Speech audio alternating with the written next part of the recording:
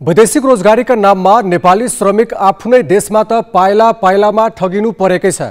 विदेश गएर पनि नेपालकै व्यवसायीको बदमासीका कारण थप भुक्तमान बेहोर्नु परिरहेको छ। खास गरी मलेसिया र खाडी पुग्ने धेरै युवालाई झुक्क्याएर अर्कै काममा लगाउने भनेको तलब नदिने र उजुरी गर्दा पनि सरकारले त्यसको कुनै सुनवाई नगर्ने प्रवृत्तिले ऋण काढेर अनेक हन्डर खाँदै विदेश पुगेका श्रमिक थप आहत भइरहेका छन्। साउदी अरेबियाको रियादमा यसरी जोखिमपूर्ण अवस्थामा काम गरिरहेका श्रमिक हुन् मोरङका अजय कुमार खवास महोत्तरीका हिरा कुमार धीरज र मिथिलेश शाह। नौ महिना अघि चावलको ब्लुमुन ओभरसिजले अफिस बोयको काम भनेर यिनलाई त्यहाँ पठाएको थियो। अहिले यस्ता अग्ला भवनमा बिना सुरक्षा सिसा पुछ्ने काम गर्न बाध्य पारिएको छ। शरीरभरि चोट छन् काम चित्त नबुझे चरम यातना दिने गरिएको छ। मेन पावरले आठ घन्टा काम गरे तेह्र सय रियाल कमाइ हुने भने पनि अहिले अठार घन्टा खट्दा पनि त्यति तलब पाइँदैन। तिनका आफन्त अहिले उद्धारको माग लिएर दिनदिनै काठमाडौँको वैदेशिक रोजगार विभाग पुग्छन् तर सुनुवाई भएको छैन। ल उनीहरूलाई कुटपिट पनि गर्छ। त्यो त्यहाँको मुदिर मिश्री देशको छ। त्यहाँ रुममा गएर उनीहरूलाई धम्की दिन्छ कि तिमीहरूलाई जे भन्छु जति गर्छु त्यति काम गर्नुपर्छ।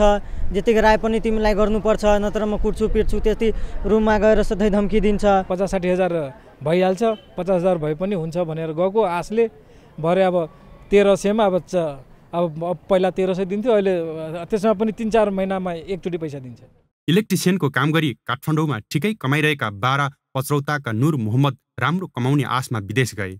सामाखुसी स्थित फ्रेन्डसिप इन्टरनेसनल इम्प्लोइमेन्ट सर्भिसेस नामको कम्पनीबाट नौ महिना अघि साउदीको मक्का मदिना गएका उनलाई मस्जिदभित्रै सफाइको काम दिने भनिएको थियो।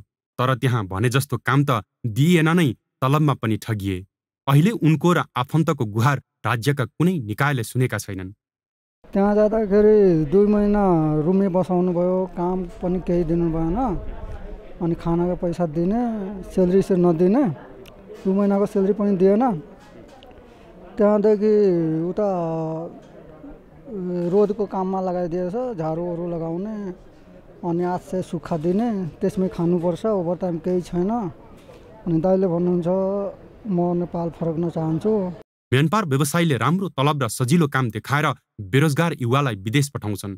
गाउँबाट उनीहरू ऋण काटेर अनेक हन्डर ठक्कर र शोषण बिहोरेर विदेश पुग्छन्। तर धेरै श्रमिकले त्यहाँ न भने अनुसारको काम पाउँछन् न त तलब नै। कतिपयले त मानवीय व्यवहार पनि पाउँदैनन्।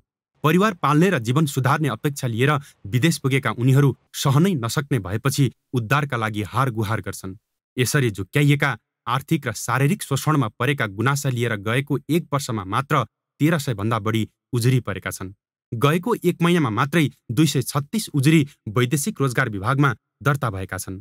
अधिकांश अति अत्याधिक पैसा चाहिँ बुझेको पछिल्लो समाधानमा आउँदाखेरि उहाँको सहमति र मिलापत्रबाट पनि त्यो स्वीकारेको देखिन्छ।